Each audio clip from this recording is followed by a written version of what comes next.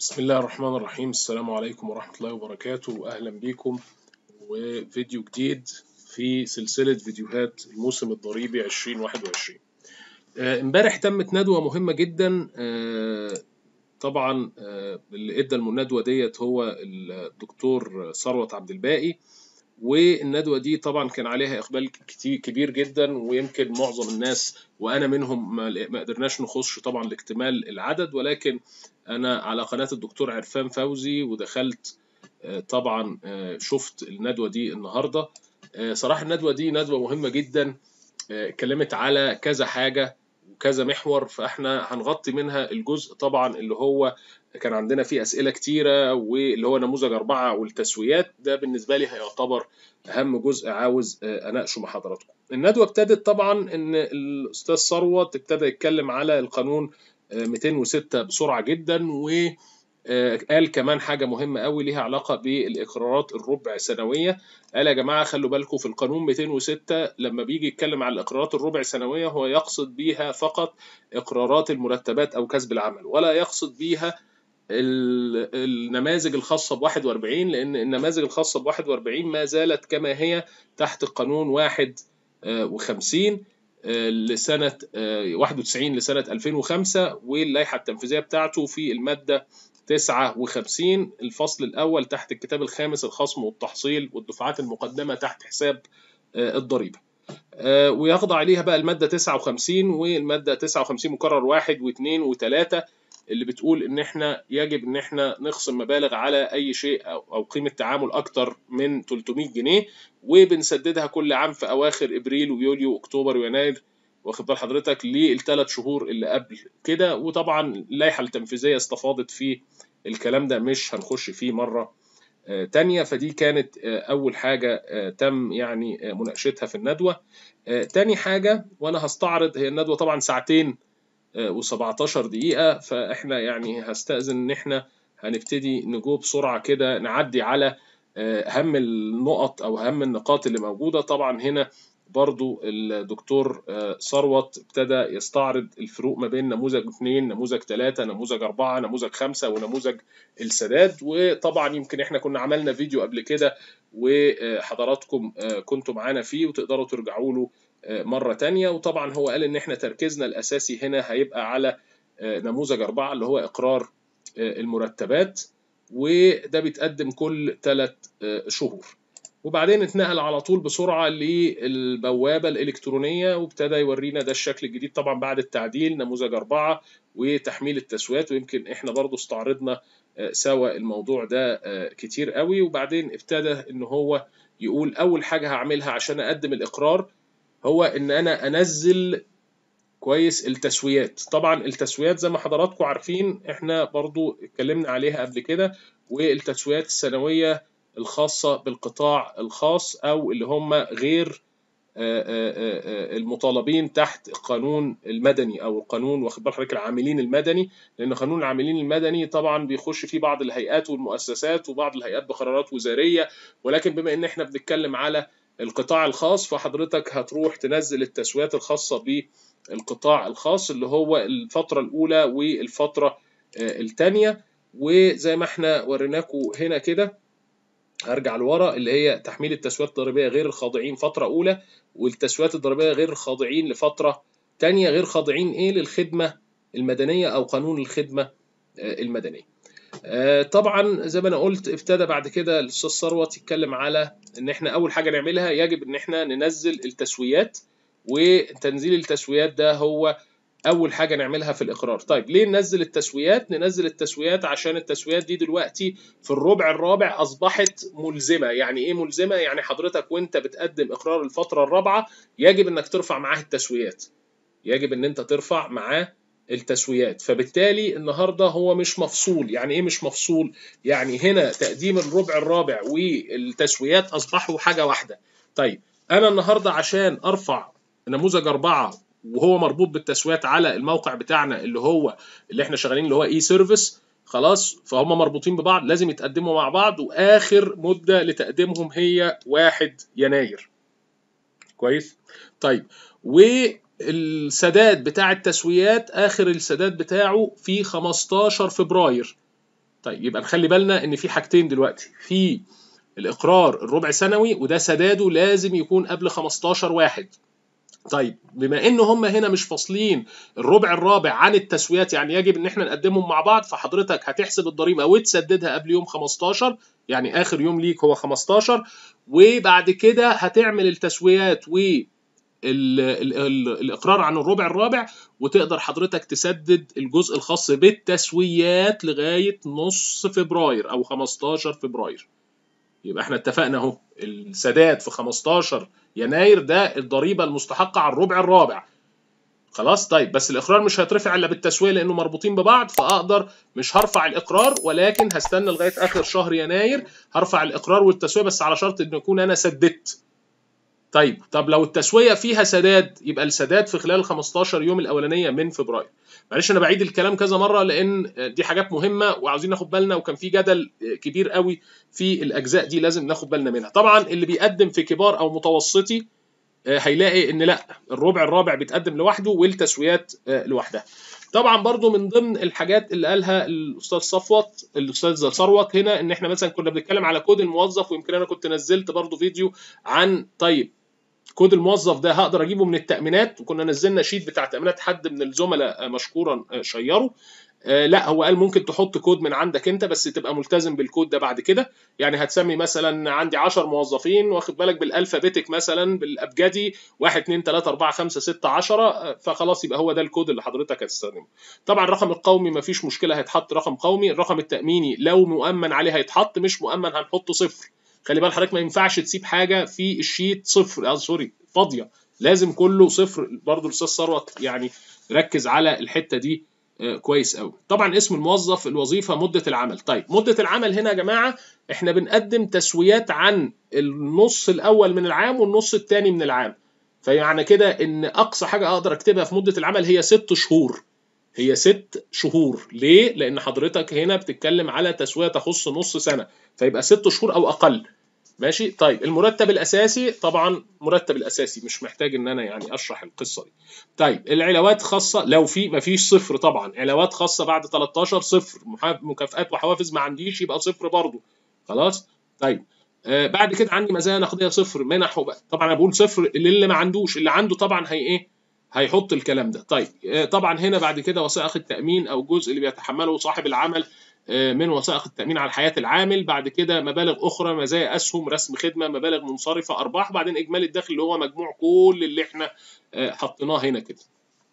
طيب بعد ما جبنا إجمالي الدخل طبعا لو في مبالغ معفاة قوانين خاصة علاوات خاصة طبعا زي ما أنتم شايفين مفيش صفر. برضو حصة العامل في التأمينات إحنا هناك ما كتبناش إن في رقم تأميني بمعنى إن هو مش متأمن عليه. اذا مفيش حصة تأمينات إنما لو في حصة تأمينات هنا هنحطها اللي هي 11% من الأجر التأميني.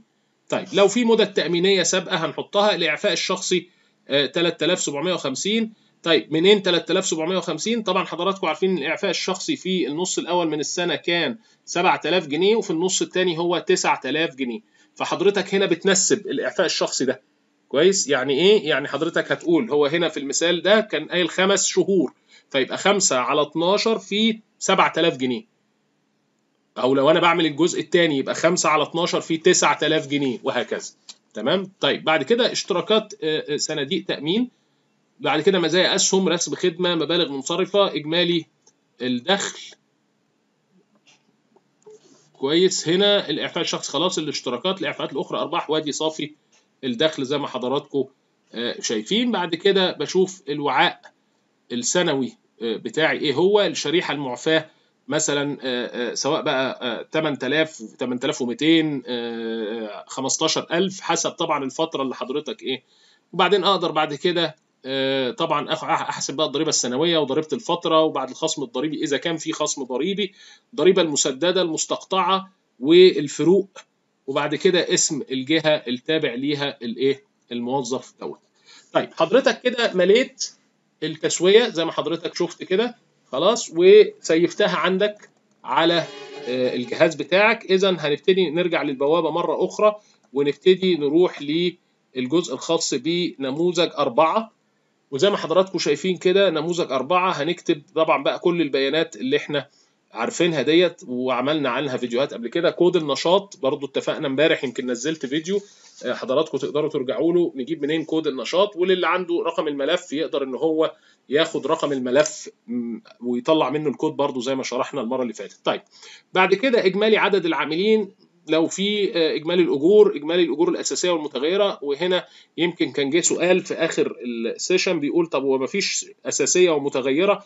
لا هو رد الأستاذ ثروت وقال لا حضرتك آه، في آه، أجور أساسية ومتغيرة ولكن ما عندناش حاجة اسمها أجر وظيفي وأجر مكمل لأن دول موجودين بس فقط للي خاضع للخدمة المدنية. يعني حضرتك هنا هتكتب اصفار في الأجر الوظيفي وهتكتب كمان صفر في الأجر المكمل.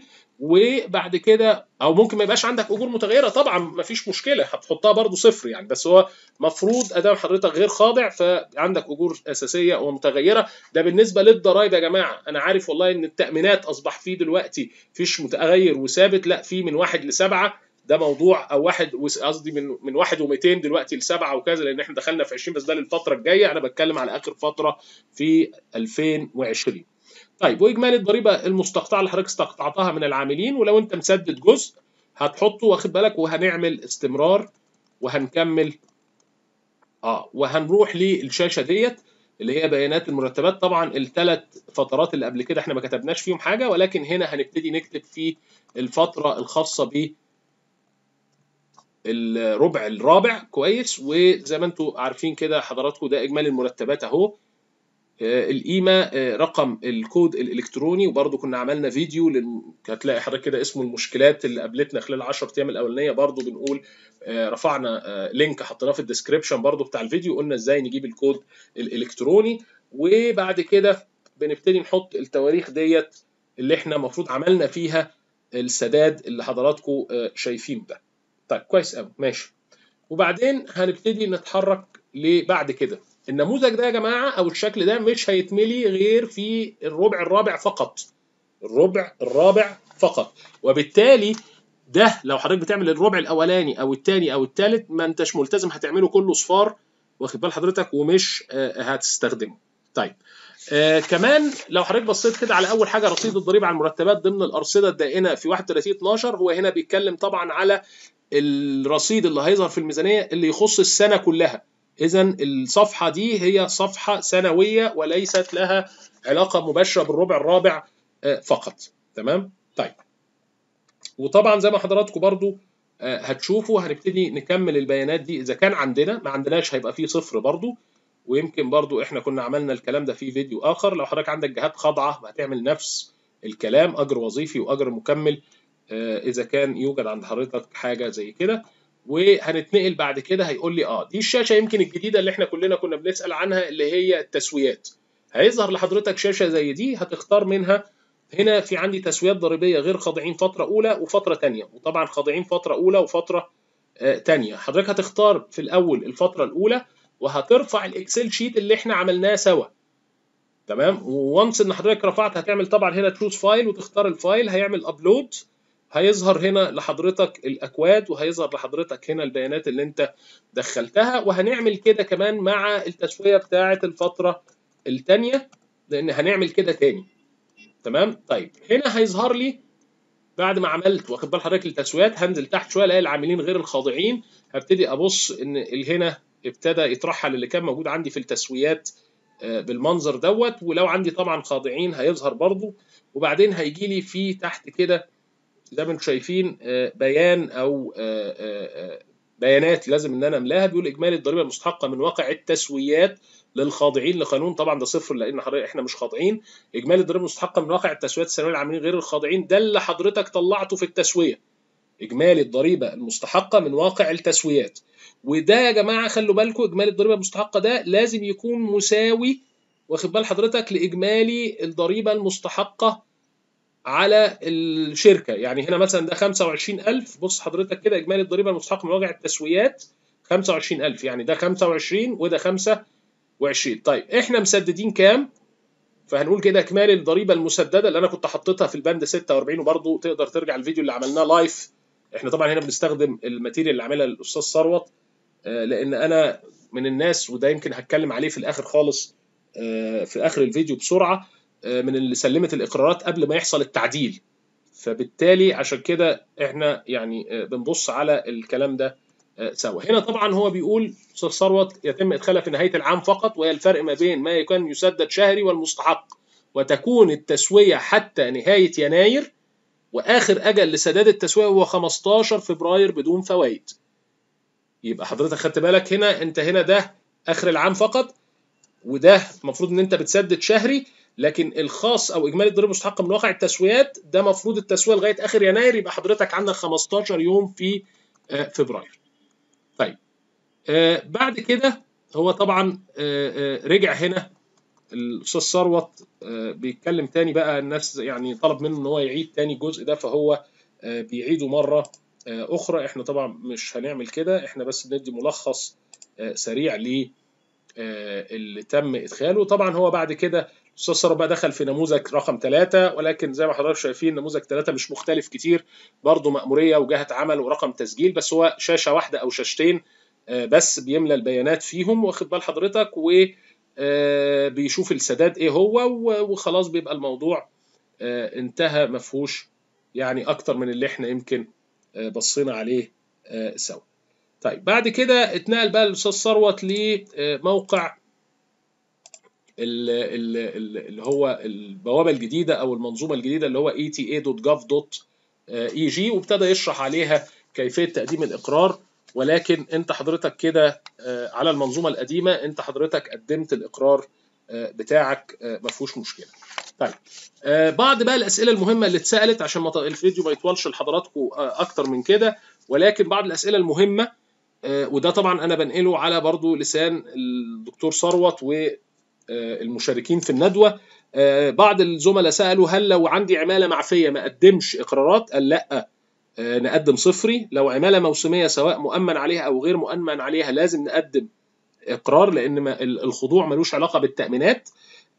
طب لو أنا ما عنديش عمالة قال لك ما تقدمش إقرار وده كلام صريح جدا. الناس كلها كانت مختلفة. حتى لما سألنا على المنظومة ويمكن برضو في الفيديوهات اللي قبل كده كنا أشرنا للكلام ده قالوا قدم لغاية لما تنزل اللائحة التنفيذية قدم صفري ولكن النهارده أستاذ ثروت بيقول المادة بتاعت القانون واضحة فما تقدمش إذا كان ما عندكش عماله. طيب آه كمان بيتكلم على إن رصيد ضريبة المرتبات اللي إحنا كنا اتكلمنا عليه آه في 31 12 ده يخص السنة ما يخصش نصف السنة ولا حاجة آه برضو الجزء الخاص بالأساسي والمتغير آه إحنا اتكلمنا فيه وقلنا في الخدمة المدنية ما فيش أساسي ومتغير فيه وظيفي ومكمل آه بعض الناس سألت على الاكونتات على المنظومة الجديدة دي هنبقى نعمل لها فيديو لوحده ولكن حضرتك كمحاسب تقدر تسجل تسجيل عادي والممول هو اللي يضيف حضرتك آه كوكيل. برضو من الأسئلة المهمة اللي اتسألت إن القانون لما نزل المفروض إن إحنا بنتكلم على الجزء الخاص ب يعني الربع الرابع بالنسبة لضريبة المرتبات. طب بالنسبة للثلاث أرباع الآخرين اللي كانوا قبل الربع اللي هو من واحد واحد يعني لغاية 30 تسعة قال لا القانون الإلزام فيه على الربع النهائي بالنسبة للإقرارات اللي هي الربع سنوية بالنسبة لاقرارات الربع سنويا.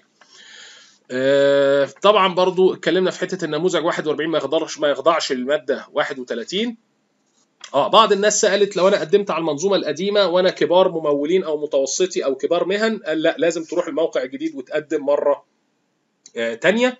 آه حد سأل برضو إذا كان في أخطاء في الربع الأول أو الثاني أو الثالث إذا كنت أنا كنت ملتزم في تقديم الإقرارات ينفع تعديله في التسوية؟ قال لي أيوه ينفع تعديله في التسوية. بعض الناس سألت عن المساهمه التكافليه في التسوية الخاصة بالنصف الآخر من العام حسب القانون 170 قال إن هي تحسب وتدفع ولكن لا تعتبر من ضمن الاستقطاعات الخاصة بالمرتبات. حاجة بقى مهمة جدا ويعني يمكن دي كانت تهمني جدا. الناس اللي قدمت إقرار قبل يوم سبعة قبل تعديل الموقع وقبل طلب التسويات زي حالاتي كده والفيديو اللي إحنا كنا عملناه سوا قال إن طبعا المصلحة على علم بالكلام ده وإن الدكتور ثروت بنفسه بيتابع وهيبقى فيه يا إما حل يا إما حد اقترح عليا بقى من الزملاء. آه وأنا أسعد إن أنا أقول عليه زميل يعني وأنا كنت ال ال المناقش الخارجي بتاعه في رسالة الماجستير الأستاذ أحمد رفعت المحامي آه المحاسب آه وبرضه حد من الزملاء في إحدى مأموريات الضرائب الكبيرة يعني قال إن إحنا لو لآخر يناير ما حصلش إن حصل أي حاجة في المنظومة تخولنا إن إحنا نرفع التسويات هنعمل تسويات يدوية وهنروح نسلمها في المأموريات لحفظ حقنا. حتى لو إحنا قدمناها في صورة اختار ولكن هنسلمها حفظا لحقنا ولكن إحنا كده نعتبر سلمنا إلى أن تتخذ المأمورية أو واخد بال حضرتك وزارة المالية يعني أي إجراء. آخر ميعاد للإخ... للإقرار والتسوية قلنا الكلام ده برضو الأستاذ ثروت قال إن يعني بيفكروا لو حد عنده سيارة مثلا ومؤمن على سواق أو حاجة زي كده فيجب إن هو يكون يعني يقدم إقرار فبيقولوا لا يعني هيحاولوا إن هم يشوفوا طريقة بحيث إن هم يخفوا على الناس اللي بيحصل دوت على أساس إن يقدروا يخفوا عنهم الضغط شوية. ده كان يعني ملخص سريع للندوة اللي حصلت امبارح وكيفية تقديم التسويات. يعني أتعشى إن أنا أكون غطيت كل شيء يعني بدون إخلال ولكن حاولت أختصر عشان الفيديو ما يبقاش طويل. متشكر ليكم جدا وإن شاء الله يعني تتابعونا دايما سواء هنا أو على التليجرام أو على قناتنا على الفيسبوك متشكر ليكم ونشوفكم في فيديوهات تانية. والسلام عليكم ورحمة الله وبركاته.